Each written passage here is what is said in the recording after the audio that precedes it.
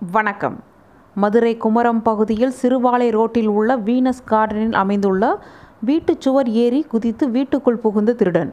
வீட்டின் உரிமையாளர் வந்ததால் தப்பியோடிய சிசிடிவி காட்சிகள் வெளியீடு.